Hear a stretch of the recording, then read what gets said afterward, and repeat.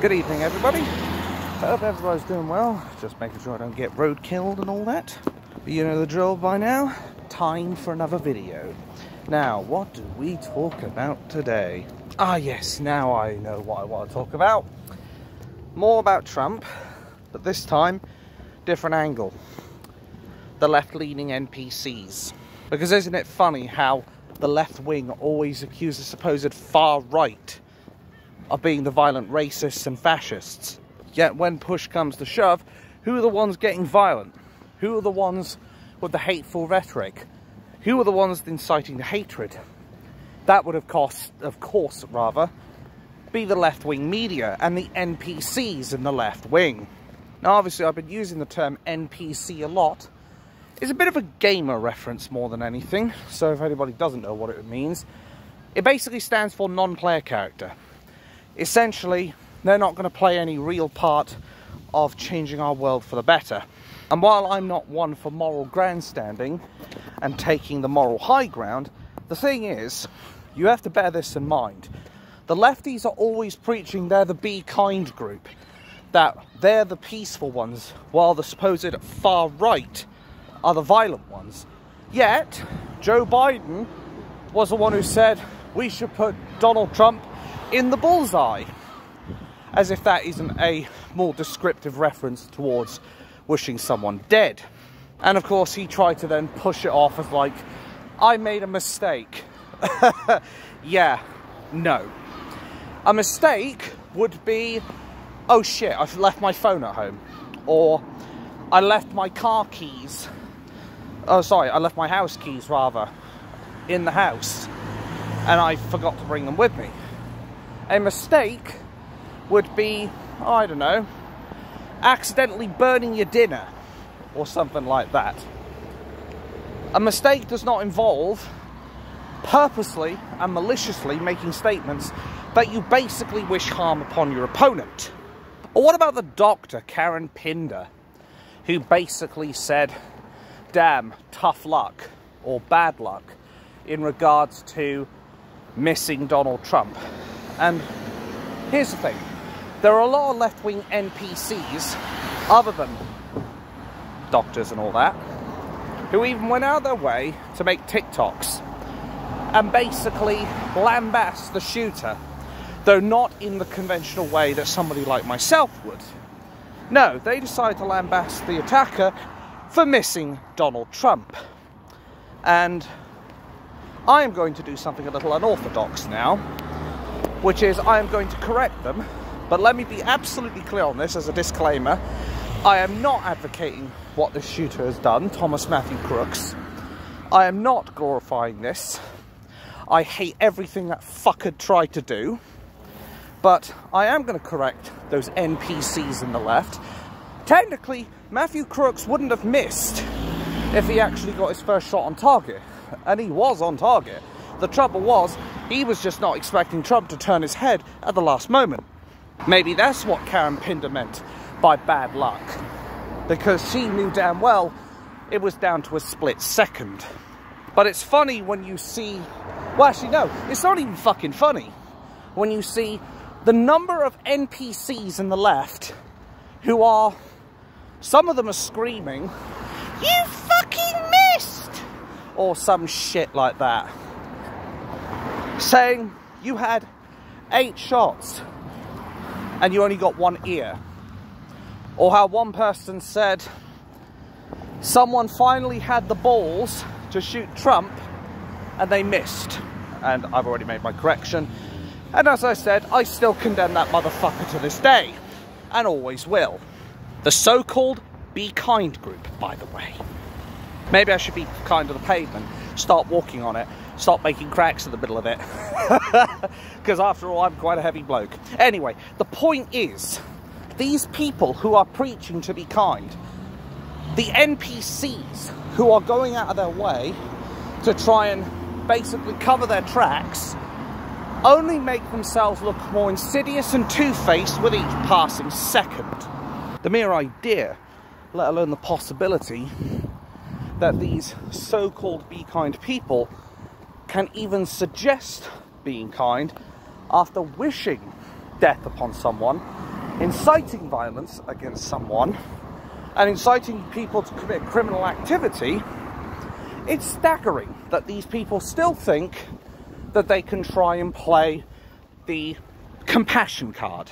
Well, I'll tell you now, those lefty NPCs will not get a single drop of compassion from me. There are figures out in the, the world that I dislike, that I'm sure a lot of ordinary people despise. I can name quite a few of them right now. Let's start with the most obvious one, Tony the Liar Blair. Or is it Tony the War Criminal Blair? I can't I can't make up my mind on that one. You know, the guy who basically sent hundreds, if not thousands, of soldiers to their deaths on a false pretense, war to Iraq because of the potential WMD threat that was never there. What about Sadiq Khan? An NPC of an Islamic mayor who basically wants to turn London into Londonistan.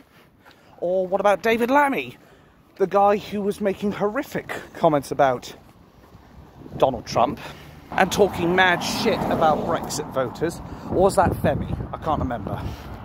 But anyway, these people go out of their way spread hatred when it's merely projection. They go out of their way to talk shit about Trump, and these people are some of the most hated figures that you can think of.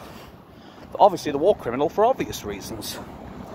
He should hang, quite frankly, but he should hang by being basically put through a trial by jury and basically found guilty of war crimes and hanged from the neck, or hung from the neck rather, until he's dead. But I don't go actively out of my way to say he should be shot, he should be stabbed, he should be killed. Legal processes for him. He's about the closest you'll ever get to me saying, wishing death upon someone. And as much as the vast majority of the British public hate that absolute traitor, that absolute snake that is Sadiq Khan, the vast majority of us do not, or should not, wish death upon Sadiq. That's the thing. We people on the right have something very important to us called a moral compass which mine is always spinning because of the amount of crazy shit I do. Anyway, it, even then, a lot of us have that moral compass that usually points north and tells us we should not be wishing death upon people, that we should be not that we should not be wishing harm upon other people. And I'd like to think our parents raised us better than that. You know, having standards, having principles, and all that shit. Whereas the lefty NPCs do not have that. And they will wish death upon anybody who does not conspire and conform to the left wing narrative. But of course, the mainstream media won't tell you this. You know the drill, folks, because say it with me, it doesn't suit the narrative. But then, of course, they don't want to admit that they're the violent mob that they seek to project their problems onto us with. These people are delusional, in denial, and absolutely dangerous. All of them. All of those NPCs going out of their way, doing post Trump celebrations of the attempted assassination, what could have been the, the successful assassination of Donald Trump, they're sitting there celebrating.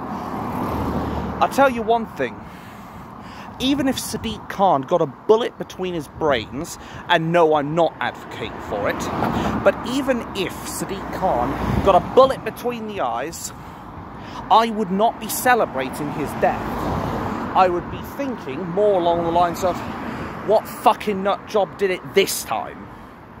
Now, of course, I think it would be pretty obvious what kind of nut job would do it. It certainly wouldn't be a lefty NPC. But what I do know is that we on the right, or far right, if you want to go that far, if you want to be one of those NPCs, we'd be calling them out regardless. Which, speaking of people like that, I forgot to mention about what's his face? Um, Kyle Clifford, is it? You know, the the guy who went out of his way to attack John Hunt's family. He's part of the BBC. His whole family was murdered by this scumbag holding a crossbow. And basically, now there's this rant about, oh, crossbows should now have stricter laws. Here's the thing, and this is what people need to remember, because they're also doing this with gun laws in America. you can put as many gun laws or as many crossbow laws out there as you want, but the thing is, it's not going to make a shit's worth of difference. The only people you're going to hurt by doing that are the people who want to use those things with innocent purposes. I don't know, maybe going out into the yard and shooting targets, or if they want to go out into the forest and I don't know, pop some shots at trees or something. You're only going to be hurting the people who use it innocently or the people who want it for defensive purposes. If a criminal or a potential criminal wants to get a weapon, he's going to get a hold of the weapon, legally or otherwise. That's the thing. But that is, of, of course, something the mainstream media do not want to tell us about because they know damn well what I'm speaking right now is the truth. Laws won't help stop the criminals, it'll hurt the people who are trying to defend themselves from said criminals. It will stop people from being able to do something they enjoy. Even if it is just shooting a bolt or a bullet at a paper target or something. But I'll tell you now, I'll condemn Carl Clifford for this atrocious attack on the BBC's fam uh, family members. Now, let me be clear, I'm not a big fan of the BBC at all. I think some of the shit they've gotten into, namely Jimmy Savile and what have you, needs no introduction. So I am far from a fan of the BBC. But you know what? That bloke did not deserve to lose his fucking family. And I'm sure at least 90%, if not 99%, if not 100% of the people who watch this channel will agree with me on this much, that any kind of attack on any kind of person's family, no matter who they're associated with, is totally unacceptable. The only time I'd make even the slightest exception of that is if there was a terrorist and that terrorist was about to do something like, I don't know, blow himself up and kill a load of people with him, or was about to pull out a knife or a gun and try and attack people. That is then maybe the only exception you could possibly justify going after people with violence with. And even then, as I said, it would be like an absolute last resort. I think these lefties need to be punished for the fact that they have tried to si uh, silence, I mean celebrate, the attempted assassination of Donald Trump. I think the people who wished death upon him or incited hatred and violence against him should also be heavily punished. I think a hefty jail sentence would do them a world of good to teach them a lesson. And here's the thing, the difference between Hoodlum and me is quite obvious. Anyway, the difference between what they're doing and what we're doing, I really hate this thing, is they've been calling for it. They have been actively calling for violence against Trump. We've been calling for resignations. We've been calling for people to be fired or sacked or whatever from their jobs, mainly because we're not doing it out of maliciousness like they are. We're doing it because we believe the people in those jobs are doing a fundamentally poor job or are not or not upholding the standards that we the British people would expect of these people in such roles. For example, Sadiq Khan, who has been a complete failure as a London mayor. And it's not because he's Muslim, it's because he's a crap fucking mayor.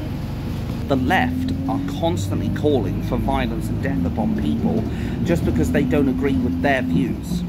Or just because Orange Man bad or some other pathetic, petty, unjustifiable excuse to want somebody hurt or killed. Which is, again, something the mainstream media are very reluctant to tell us. When we call for resignations and firings, as said, it is purely because we see the people in those jobs are not fit for purpose. Whereas they are doing the stuff they're doing now because they hate our guts and maliciously want harm done to us.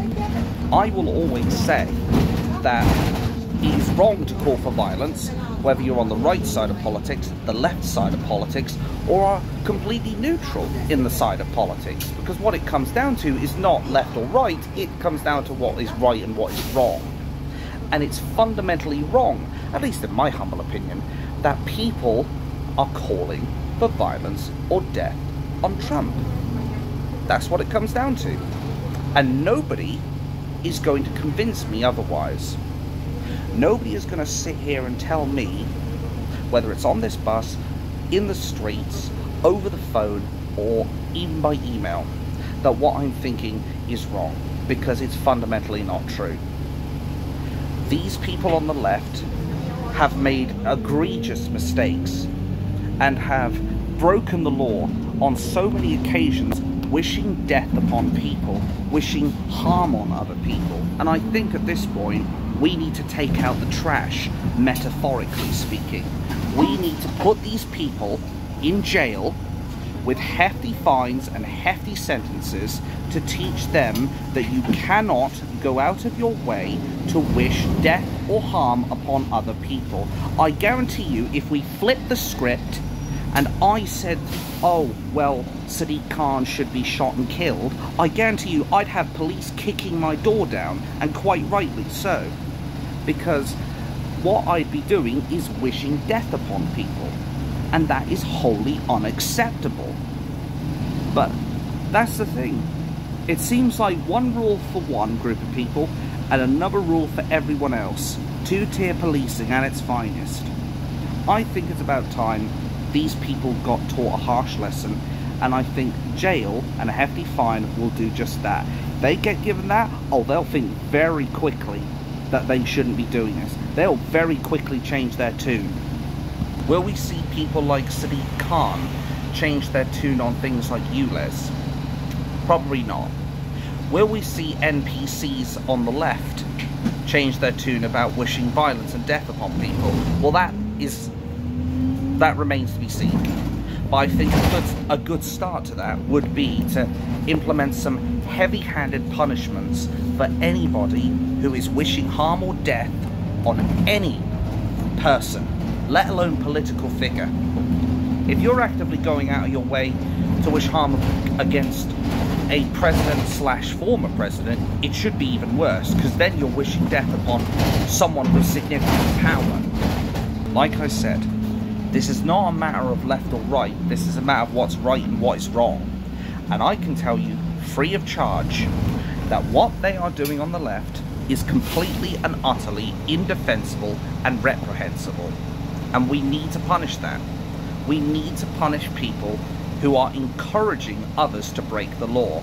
And I think it also includes the mainstream media as well. The mainstream media who constantly push this narrative against people they don't like Nigel Farage, Tommy Robinson, Donald Trump, Laurence Fox, to some lesser extent, Dan Wootton. I think these people need to be punished for going out of their way to do malicious harm to some of these people.